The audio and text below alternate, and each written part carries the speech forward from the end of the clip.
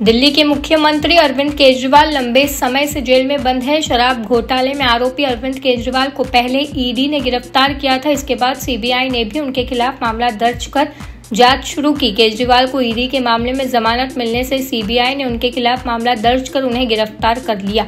आम आदमी पार्टी का कहना है कि केंद्र सरकार के इशारे पर ईडी और सीबीआई काम कर रहे हैं। उन्हें जेल में रखने के लिए साजिश की जा रही है। केजरीवाल की बिगड़ती तबियत के बावजूद उनकी गिरफ्तारी के खिलाफ 30 जुलाई को इंडिया गठबंधन के सभी सहयोगी दिल्ली के जंतर मंतर में प्रदर्शन करेंगे। दिल्ली के मुख्यमंत्री अरविंद केजरीवाल लंबे समय से जेल में बंद है। शराब घोटाले में आरोपी अरविंद केजरीवाल को पहले ईडी ने गिरफ़्तार किया था। इसके बाद सीबीआई ने भी उनके खिलाफ मामला दर्ज कर जाँच शुरू की। केजरीवाल को ईडी के मामले में जमानत मिलने से सीबीआई ने उनके खिलाफ मामला दर्ज कर उन्हें गिरफ़्तार कर लिया। आम आदमी पार्टी का कहना है कि केंद्र सरकार के इशारे पर ईडी और सीबीआई काम कर रहे हैं। उन्हें जेल में रखने के लिए साजिश की जा रही है।